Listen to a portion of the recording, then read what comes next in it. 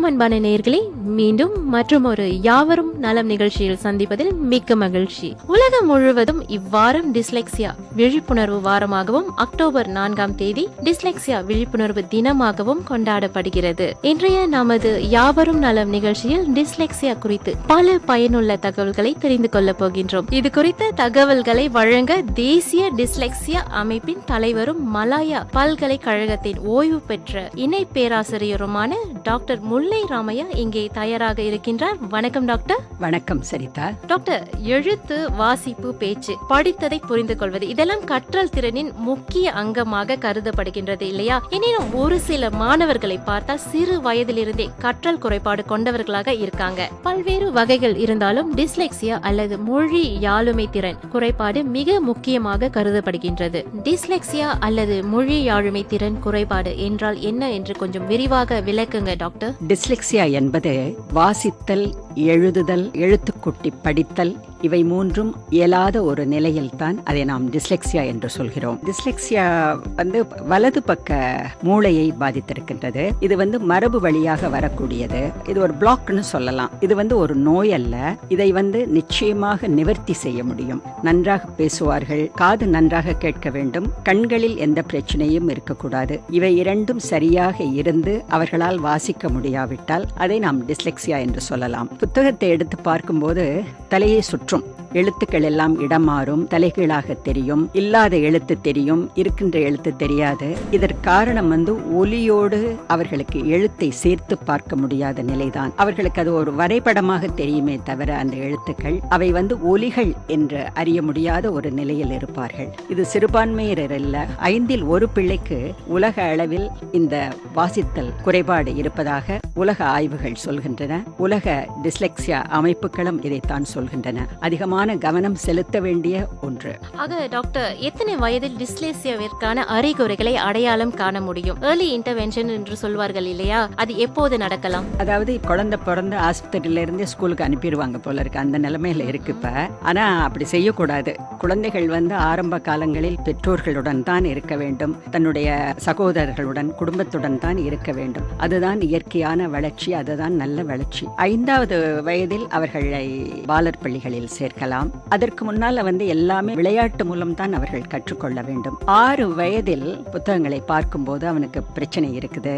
அவளுக்கு பிரச்சனை இருக்குது என்று அந்த வயதில் நாம் வேண்டுமானால் சொல்லலாம். ஆனால் ஏழு வயதில் இன்டர்வென்ஷன் நடந்தால் மிக சிறப்பாக இருக்கும். அதாவது நாம் தலையிட்டு குறுக்கீடு செய்து அவர்களை திருத்துதல் சரியான பாதையில் கொண்டு போய் அவர்களுக்கு அந்த ஃபொனட்டிக் மெத்தட் மூலம் அதை நாம் செய்தால்தான் அவர்களை நாம் திருத்த முடியும். அதனால் பிறகு அவங்க கண்டுபிடிச்சு ஒன்பதாவது வயதிலேயோ பத்தாவது வயதிலேயோ பதினாறாவது வயதிலேயோ அவர்களுக்கு டிஸ்லெக்சியா இருக்குது என்று சொன்னாலும் அப்போதும் இன்டர்வென்ஷன் செய்யலாம். அதுல எந்த தப்பும் கிடையாது. ஆனால் அவர்கள் வந்து இதுவரை படித்ததை எல்லாம் அழித்துவிட்டு மறு பதிவு செய்யணும். அது அவங்களுக்கு கொஞ்சம் சிரமமாக இருக்கும் குழந்தைகளுக்கு. ஆரம்பத்திலேயே வளரும் போதே இந்த குறுக்கீட்டை செய்து நாம் அந்த கற்பித்தல் முறையை மாற்றி அமைத்து நாம் அவர்களுக்கு உதவி செய்தால் இது வெகு தூரம் போகும். அவர்கள் நிச்சயமாக திருந்துவார்கள் நிச்சயமாக வெற்றி அடைவார்கள் ஆக ஆறிலிருந்து ஏழு வரை இந்த குறுக்கீடு ஏர்லி இன்டர்வென்ஷன் நடக்கலாம்னு சொல்லியிருந்தீங்க. ஆக எந்த மாதிரியான பரிசோதனைகள் அல்லது மதிப்பீடுகள் கொண்டு டிஸ்லைசியாவை கண்டறியலாம்? அதாவது பள்ளி அளவில் ஆசிரியர்கள் இதை ரொம்ப எளிதாக செய்து விடலாம்.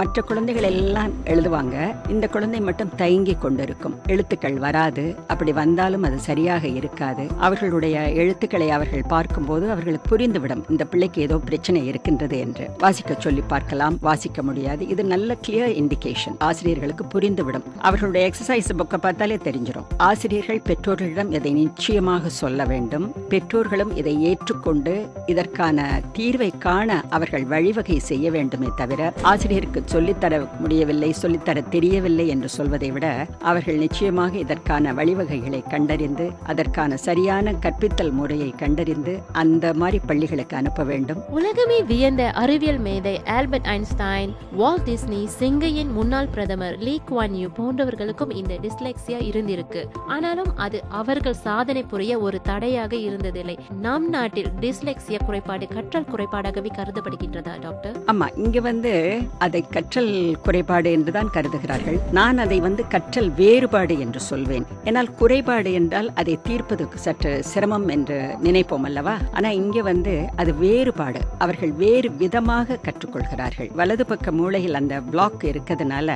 ஃபொனட்டிக் மெத்தட் மூலம் அவங்களுக்கு சொல்லிக் கொடுக்கும்போது அதை எளிதாக புரிந்து கொண்டு அவர்கள் அதை கற்றுக்கொள்வார்கள். அதாவது ஒலியை வந்து நாம எழுத்தோடு சேர்த்து கற்றுக் கொடுக்கின்றோம். மரபு வழி கல்வி நிச்சயமாக அது எந்த மொழியாக இருந்தாலும் அது உதவாது. ஃபொனட்டிக் மெத்தட் மட்டுமே இதற்கான வழி. அந்த வழியில் அவர்கள் சென்றார்களானால் நிச்சயமாக வெற்றி உண்டு. கிட்டத்தட்ட நூறு பெர்சன்ட் அவர்களை மாற்றிவிடலாம் என்று சாலி ஷாவிட்ஸ். அவங்க தான் இன்னைக்கு உலக புகழ்பெற்ற பெற்ற டிஸ்லெக்சியா மேதை அவங்க ஏல் யூனிவர்சிட்டியில் இருக்கிறாங்க. அவங்களும் மற்ற பல ஆய்வுகளும் என்ன காட்டுகின்றன என்றால் சரியான சிஸ்டமேட்டிக் வரன்முறையான ஒரு முறையில் அவர்களுக்கு ஃபொனட்டிக் மெத்தடில் நாம வந்து ஒலி வழி நாம் சொல்லிக் கொடுத்தால் அவர்கள் நிச்சயமாக கற்றுக்கொள்வார்கள். இப்போ பா என்று சொல்லும்போது அதை படம் பா பாம்பு என்று ஒவ்வொன்றுக்கும் படங்களை காட்டி அந்த அசோசியேஷன் மூலம்தான் அவர்கள் கற்றுக்கொள்கிறார்கள். ஒன்றுமே இல்லாமல் இதுதான் பா அப்படின்னு நீங்க எத்தனை தடவை சொன்னாலும் மனப்பாடம் பண்ணி கொண்டாலும் அவர்களால் அதை நினைவு வைத்துக் கொள்ள முடியாது. அந்த தொடர்பு படுத்தித்தான் அவர்கள் அதை நினைவில் வைத்துக் கொள்வார்கள். திரும்ப திரும்ப சொல்லிக் கொடுத்தா அந்த குழந்தை நல்லா கத்துக்கிட்டுரும் அப்படின்னு சில ஆசிரியர்கள் சொல்றாங்க. அது வந்து கொஞ்ச நாளைக்கு இரண்டு வாரம் அது தாக்கு பிடிக்கும். நாலாவது வாரம் அவனை கேட்டீங்கன்னா கம்ப்ளீட்டா அதை மறந்து போயிருக்கும். ஏன்னா இந்த டிஸ்லெக்சியா குழந்தைகளுக்கு என்ன பிரச்சனை என்றால் அவர்களுக்கு வந்து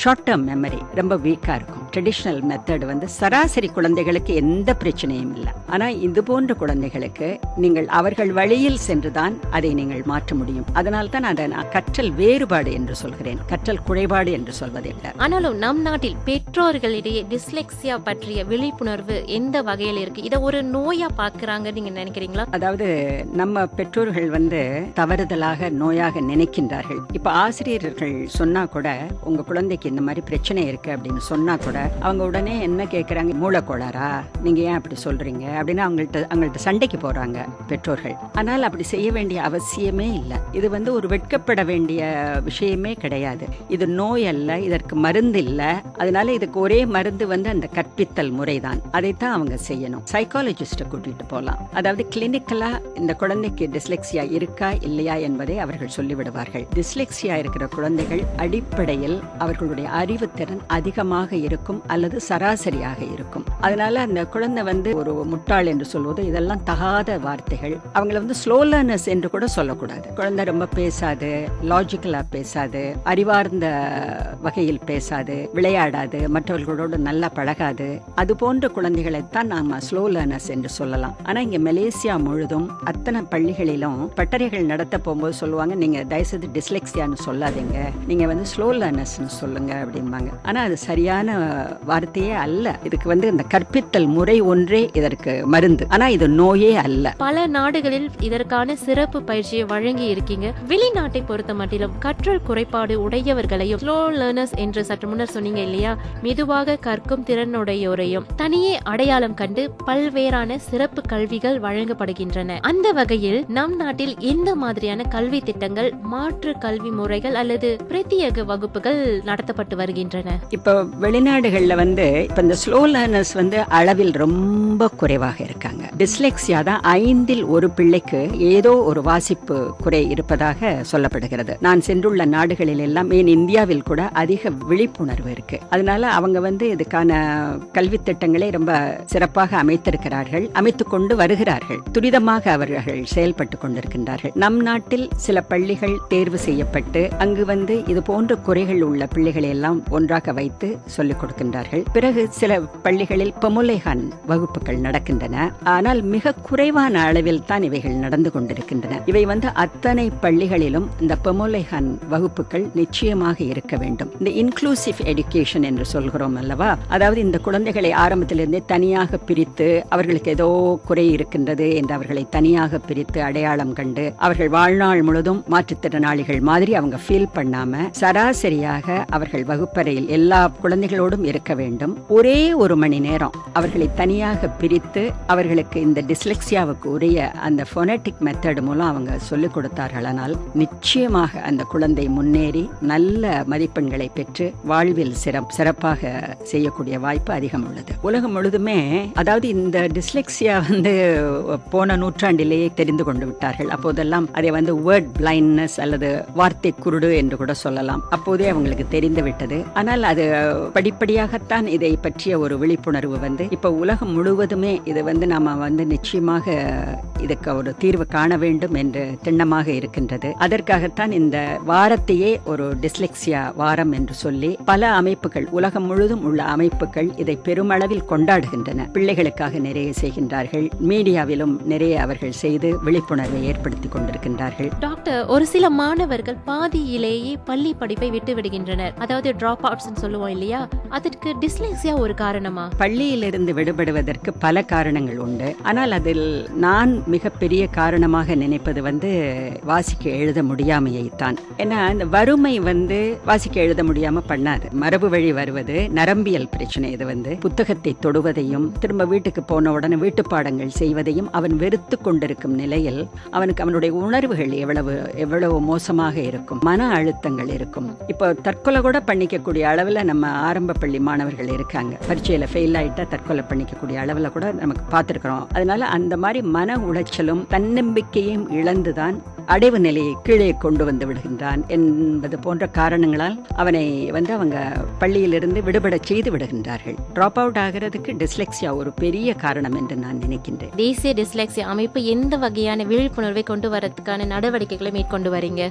நாங்கள் வந்து இப்போ முக்கியமாக இந்த க்ரைம் அண்ட் டிஸ்லெக்ஸியா வந்து ரொம்ப கொரிலேட்டட் அப்படிங்கிறத வந்து நாங்கள் பல பெரிய ஆய்வுகள் மூலம் நாங்கள் பார்த்துருக்குறோம். அதாவது உலக ஆய்வுகள்லாம் அதை தான் காட்டுது. அது எங்களுக்கு ஒரு பெரிய பாதிப்பை ஏற்படுத்தி இருக்கின்றது. அதனால் அதற்காக நாங்கள் இப்போ ஒரு ஆய்வை செய்து கொண்டிருக்கின்றோம். ஒரு பல்கலைக்கழகத்துடன் சேர்ந்து எங்களுடைய இயக்கம் வந்து இந்த குற்றவியலுக்கும் இந்த டிஸ்லெக்ஸியாவுக்கும் என்ன சம்பந்தம் அப்படி என்பதை ஆய்வு செய்து கொண்டிருக்கின்றது. அது ஒரு பெரிய முன்னெடுப்பாக நாங்கள் செய்து கொண்டிருக்கின்றோம். எங்களிடம் எங்களிடம் வரும் பெற்றோர்களுக்கு நாங்கள் வந்து கவுன்சிலிங் செய்கின்றோம் ஆலோசனைகள் கொடுக்கின்றோம். எவ்வாறு அவர்கள் குழந்தைகளை வளர்க்க வேண்டும் என்று சொல்லி தருகின்றோம். ஏன்னா இது வந்து பள்ளி பிரச்சனை மட்டுமல்ல. பெற்றோர்கள் இதில் பெரும் பங்காற்ற வேண்டும். அவர்கள் அக்கறை எடுத்துக்கொண்டு அந்த பிள்ளைகளுக்குரிய அதாவது மூளையை எவ்வாறு திறம்பட இயங்க வைக்க முடியும் என்ற வழிகளை அவர்கள் கண்டு அதை அவர்கள் செய்ய வேண்டும் அதை வீட்டில் செய்ய வேண்டும். உதாரணமாக இந்த தோப்பு கரணம் போடுவது. அதை அமெரிக்காவில் வந்து பிரெயின் ஜிம் என்று கொண்டாடி கொண்டிருக்கின்றார்கள்.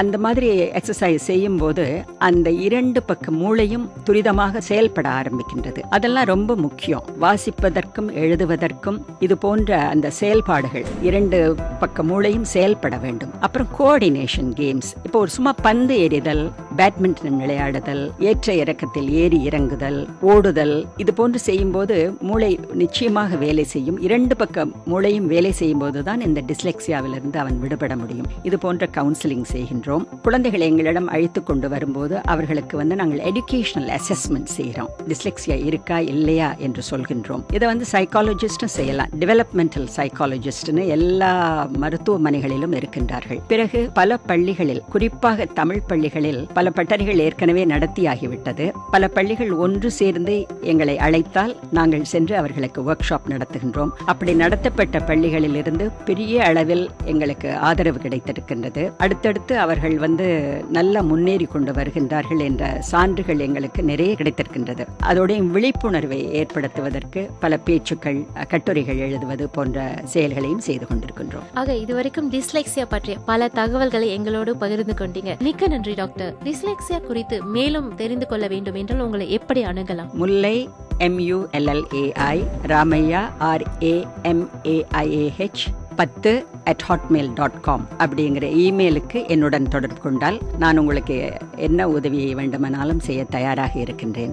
பெற்றோர்கள் வந்து இதை வந்து ரொம்ப பாசிட்டிவாக எடுத்துக்கணும். அவங்க வந்து குறையாக நினைத்து இதை வெளியில் சொன்னால் வெட்கம் என்று நினைத்து இதை மறைத்து ஆசிரியர்களிடம் சண்டையிட்டு பிள்ளைகளை வேறு வேறு பள்ளிகளுக்கு மாற்றி இதெல்லாம் செய்ய வேண்டிய அவசியமே இல்லை. அவர்கள் எங்கு உதவி கிடைக்கின்றதோ அதை நாடி அவர்கள் செய்ய வேண்டும். பள்ளிகளும் இதற்கான கற்பித்தல் முறையை சரியாக தெரிந்து கொண்டு அந்த முறையில் இந்த பிள்ளைகளுக்கு இந்த பொமோலேஹான் கிளாஸ் மூலம் அவர்களுக்கு பிரத்யேக வகுப்புகள் மூலம் இந்த கற்பித்தல் முறையை அவர்கள் செய்ய வேண்டும். இந்த ஒரு கற்பித்தல் முறையினால் தான் நம்ம அவங்கள மாற்ற முடியுமே தவிர வேற எதுவுமே இதில் நம்ம செய்ய முடியாது. அதனால தயவு செய்து பெற்றோர்களும் ஆசிரியர்களும் இதில் கவனம் செலுத்தி நம்மளுடைய பிள்ளைகளை நாம் உயரச் செய்ய வேண்டும். ஆக இதுவரையில் யாவரும் நல நிகழ்ச்சியில் நம்முடன் வளம் வந்தவர் தேசிய டிஸ்லெக்சியா அமைப்பின் தலைவர் டாக்டர் முல்லை ராமையா. இன்று நாம் டிஸ்லெக்சியா பற்றிய விழிப்புணர்வை கொண்டு வந்து மீண்டும் மற்றொரு நிகழ்ச்சியில் சந்திக்கும் வரை அன்புடன் விடைபெறுகிறேன். சரிதா முனியாண்டி.